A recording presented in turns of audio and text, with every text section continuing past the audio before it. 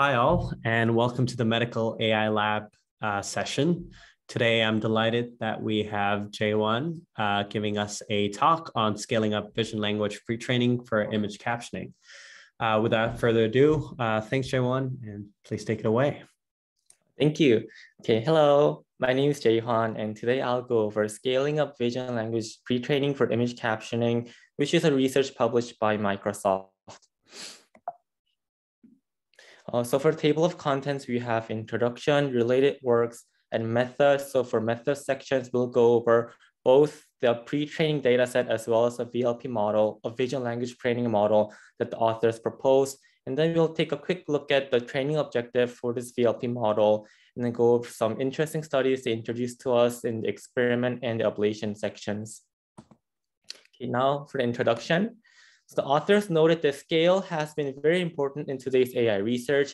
And for scale, I mean both in terms of data and model size. So it would be intuitive for all of you that if we have a lot of pre-training data, it only makes sense to increase the model size as well. And the authors noted that recently we've noted that both CLIP and Align model exhibited the power of scale when it comes image text retrieval task. However, at the same time, little is known about the scaling properties when it comes to image captioning. So the authors have two main contributions here. The first one is that they present vision language pre-training scaling rule for image captioning. So as I've said before, scaling rule, they apply to both two domains, model size. So they vary the model size from as small as 13 million parameters to as big as 675 million parameters. And similarly for data set, so for pre-trained data, they train the model with as small as 3 million samples up to 200 million samples. Also, their second contribution would be this one. So they present this new model called Lemon, which is short for large scale image captioner that achieves state of the art for several benchmarks for image captioning. And authors included the lemon emoji next to the name. So I just decided to keep it there as well. Mm, let's go over some related works. So recently we've seen a boom of VLP methods and the list below is some of the examples that they've introduced, introduced and they also noted that they've referred to VinVL, which is the last element on the list, as a reference model they, they yes, they were inspired of when they came up with the Lemon model. Uh, although there has been like active ongoing research on VLP methods itself, the scaling behavior of VLP remains less studied. So most works pre-train their VLP models on less than 4 million images, whereas the authors pre-train their models on up to 200 million images. Now they note that CLIP and Align were both trained on 400 million and 1.8 billion images, which are a lot, more than 200 images that they're dealing with. However, the focus of the two models were on image text retrieval, whereas the focus of the author's research is image captioning. So there's slight difference here. Now for the scaling law, similarly, there has a scaling law has been studied when it comes to language models as well as, as well as vision transformers for image classification, but at the same time, they say no previous research has been done for VLP scaling behavior for image captioning. They say they're the first one to explore this domain. Now let's take a look at the method. So they experiment with a scaling law for both the data set aspect as well as the model size aspect. Let's first go over the data set part. So instead of using a pre-existing one, they came up with their own data set, which is called ALT200M. This is also an image capturing data set. So for image portion of the samples, they just crawled them from the internet. And for the caption part, they refer to alt attribute for the image, which usually describes what's going on in the given image. So the total size of the training size will be 200 million samples of image, comma, caption pairs and they've applied as minimal filtering as possible so that the data set they have can follow the natural distribution of images. And the picture on the right gives us a word cloud of the top 200 words. So we have background, city, white, woman, New York eh, going on there. Uh, and here we have some examples of the samples that they've collected for the ALT200M. So this is basically image and its corresponding alt caption. So when you look at the first two rows, seems like the captions are doing a pretty good job explaining the image. However, they've noted that for sample 9 and 11, the sentence structure is not the best. And when you look at the last row, we can also see that the alt attributes are not always like a perfect description of the image. So for instance, if you take a look at picture 15, there's no way for us to know that the woman is talking about the government and the community effort to fight child, childhood obesity. So alt 200M can be a bit noisy, but in general, it is a good data set. That's what the authors were trying to suggest here. Uh, and we and here we compare alt 200M with several pre-existing data sets. I know there are a lot of numbers here, so I've just highlighted some key takeaways that we should look at. So for the first one, we compare CC12M, which is conceptual captions 12M, also a data set commonly referred to when it comes to image captioning. So when we compare alt 200M to this one, we can see that the alt 200M has about 60 more images than this data set. And when it comes to unique, unique vocabularies, uh, the size of alt 200M is about like almost twice more than the number of unique unigrams in CC12M. In about 56% of the total unigrams in alt 200M, sum up to only 0.1% of the total unigrams in the dataset, which means that we have an extremely long tail of rare unigrams. And when it comes to length of this dataset, it's longer on average than the COCO caption data set. Uh, now let's look at the second part, which is going to be the model for scaling law. So here they introduce Lemon, which is a combination of image feature extractor and a transformer. And they've been inspired of this structure from a previous work called VinVL. Now for the image feature extractor part, we uh, they use pre-trained Faster RCNN detector and then by using this detector, they achieve three things. They first extract image region features from the given image, and they also uh, come up with a scaled bounding boxes using this detector and concatenate that information to the image region feature that we've extracted above. And since this Faster RCNN model is a detector, they also detect the object tags for the image region features, and they pass on all three all three information to the next step, which is gonna be the transformer. So the purpose of appending a transformer at the end is to perform multimodal fusion. And by multimodal fusion, I mean tokenizing, uh, fusing the tokenized caption. So caption uh, in terms of ALT200M would be the alt attributes. So, so caption part would be the caption of the uh, image caption data set. And we also, we are fusing that with with image and tag embeddings from the extractor that we've seen in the previous slide. So the transformer we have here is multi-layered, which means it's a stack of encoders. And one encoder is consisted of multi-head self-attention, MSA in short, with a feed-forward layer. And they've used sequence-to-sequence -sequence attention mask here so that they can enable text generation with only an encoder. So here we take a deep look at how MSA works. So let's first go over some um, symbols. So the union sign there means concatenation. And for input, we have V, T, and W. So V will be the image embeddings, T will be the object tags token embeddings, and W will be the captions token embeddings. So for these three parts, we are applying multi-head self-attention, where X, the first argument serves as a query for attention, and V concatenated with T here would be, will serve as both the key value and key and the value of a traditional attention scheme. So with these three as a given, the output will be the R values at the left side of the equation. And the R value will either fed into the next layer if that's not the next layer, uh, if, if it's not the final layer. And if it is the final layer, then we would use these R values to make the prediction at the very end. Uh, here we go over some architecture for lemon. So we so the authors tested eight different varying sizes of the lemon model from tiny to huge. And further on, if they refer to lemon base, it'll referring to the model on the fifth row of parameter size of 100, about 111 million parameters and huge one will be a model with 675 million parameters. And the flop and the flop numbers calculated on the rightmost column. Uh, it's basically the number of seconds it took to pass 50 image regions and 35 text tokens in one forward pass. And the image region features dimension is 2054. And to make it fit the width of the transformer, they've applied a linear layer to shrink it down. Uh, training for this training objective, they've used sequence to sequence masked language modeling.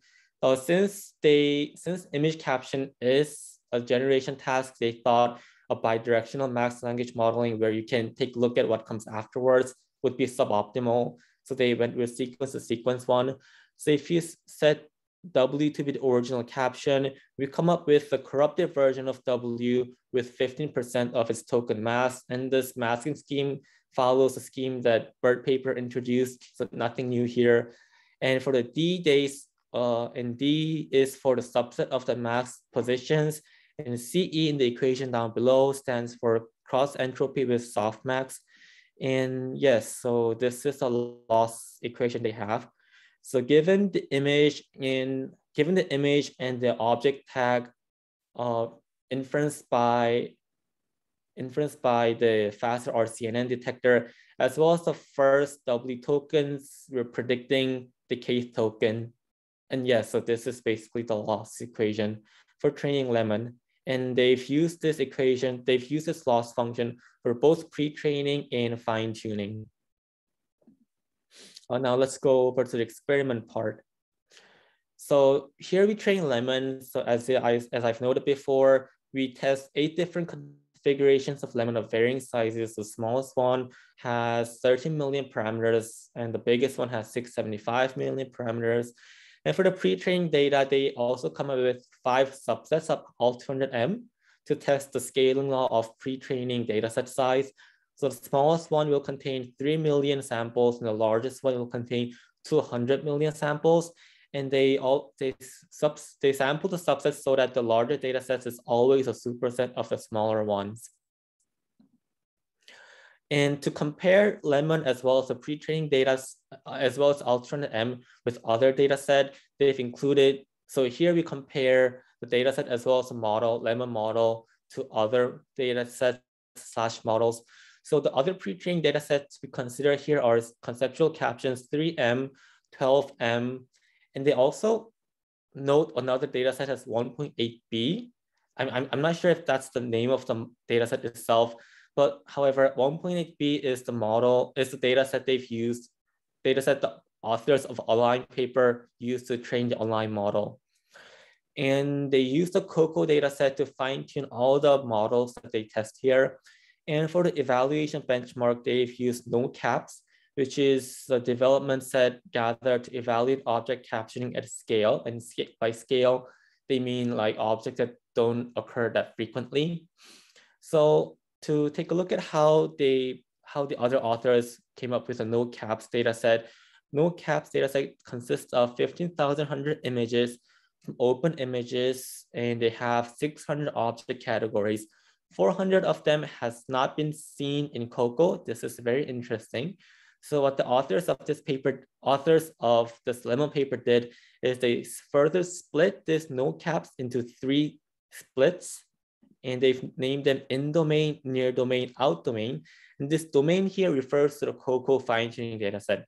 So in domain basically would be objects that has also been objects in no caps that has also been seen in COCO, whereas out domain one would be objects in no caps that did not appear in the fine-tuning COCO data set.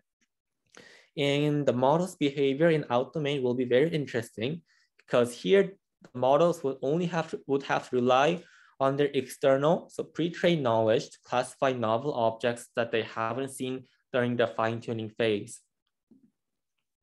Uh, and this is a result of the models tested against the no-caps benchmark. Uh, so here, all the models are tested against no-caps the first 14 rows are for validation set and the bottom six rows are for the test set of the no caps. All the models here are fine-tuned on COCO, as I've mentioned earlier. There are a lot of numbers here. I've so I've so I've highlighted some key uh, uh, findings the authors noted in the paper. So let's first look at row eight and 12. So row eight is lemon-based model with about 100 million parameters that hasn't been pre-trained at all and was just trained, fine-tuned slash just trained on Coco. Whereas row 12, we have lemon-based model that has been pre-trained on ALT200M and further fine-tuned on Coco. So if you compare uh, these two numbers, 91.4 versus 107.7 for in-domain uh, split of no caps. So when you take a look, the CIDEr score is improved by about 16 here, whereas out of domain is improved by 30, 45. So here the authors concluded that including pre-training data does help the model perf model's performance in general.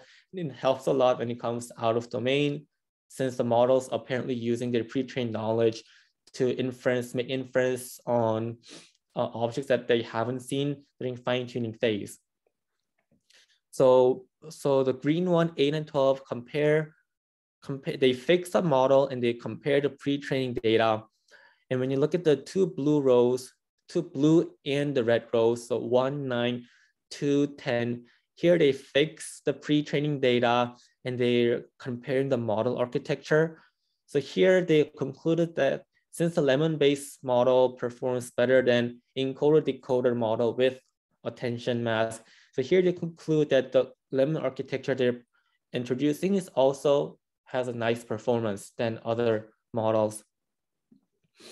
And last but not least, if you take a look at the three yellow numbers down below, so 110.3 is the current uh, state of the art for no caps uh, leaderboard, which has been achieved by SimVLM.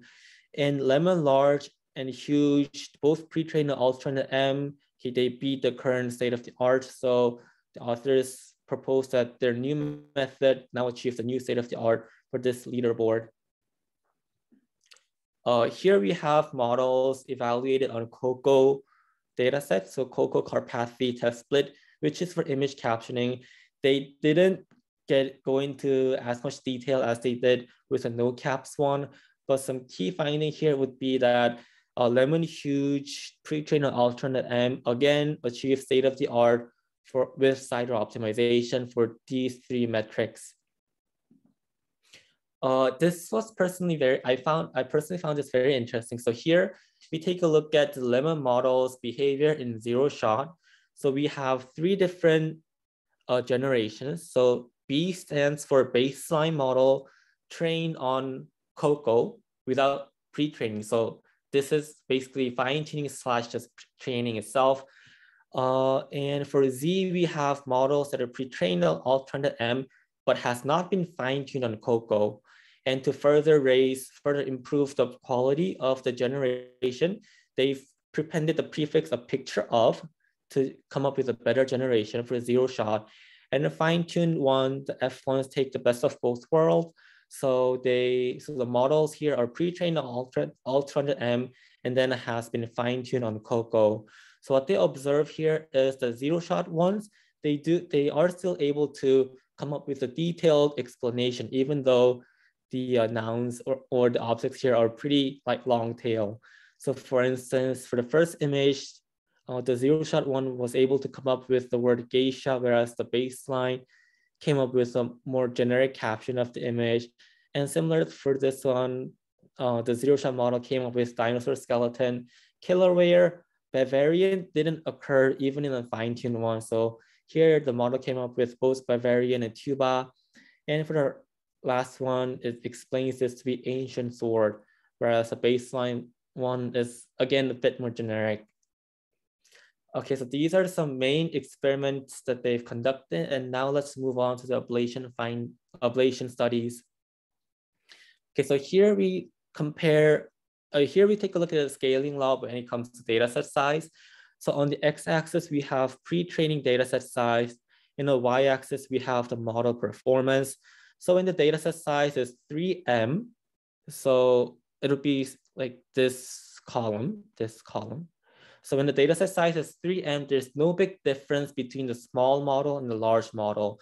So when you take a look at the first uh, graph, aside from a tiny model, all the small models and the model, models from small to huge, they're all clustered here, so there's no big difference. However, when you increase the data set size, when you move along the x-axis, you can see the gap between the models um, get bigger, which means that the difference between models become more pronounced as you increase the data set size. And on the right side, we have three models that have been fine-tuned on COCO and evaluated on the three splits of no caps. And they note here that when you take a look at the gap between the models and in domain and the out domain, the gap for the out domains is always consistently bigger than the gaps between models and in domain, which suggests that pre-training does help has a bigger impact when it comes to models making out domain predictions, out domain generations. And mm, here we compare, here we look at how model size comes into work in comes to scaling law. So similarly, when the data set size is 3M, so the plot with the navy color, uh, you can see even if you increase the model size, there's no noticeable improvement in model performance. So we may we may conclude that baseline with baseline model with about 100 million parameters would be enough when we only have 3 million samples in our data set. But as we end up uh, coming up with a bigger data set, uh, increasing the model parameters, uh, increasing number of model parameters does benefit a lot and does boost the model performance. So from this behavior, the authors conclude that if the dataset size is unlimited, then the model size may become a bottleneck for model performance. But last but not least, we take a look at sample efficiency. And by sample efficiency, this basically means how fast the model is able to learn after seeing a certain number of samples. So samples seen in pre-training is on the x-axis. And what this basically means is batch size times number of train steps. So if the train set size is 10 million and it goes through all the sets in one epoch, and if there has been 10 epochs in total, then the total number of samples seen in pre-training would be 10 million times 10, so 100 million.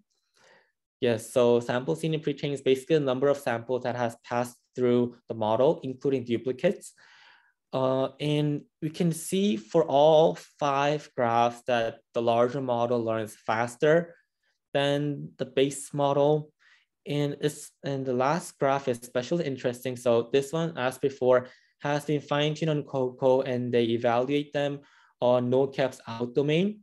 So the rightmost point on the base model graph has been trained for on 19 billion samples, but this one's performance is lower and this one's performance, this one's outperformed by a huge model that has only seen 0.8 billion models, which is the leftmost point on this graph. So here they conclude that pre, again, pre-training does help a lot when it comes to making out domain generations. Okay, now we'll go over some conclusions. So scaling up does help a lot when it comes to pre-training. And authors also found if larger, larger training data is available, then, then the model size may become bottleneck for model performance. At the same time, they suggested that if you increase both the pre-training data size and the model size, we may avoid a potential saturation plateau. And last but not least, Lemon achieved state-of-the-art in various image captioning tasks it can, so the lemon model can recognize a lot of long tail visual objects and it also shows an impressive performance in a zero shot manner. Thank you. Great. Thanks, Jaehwan, for the wonderful presentation.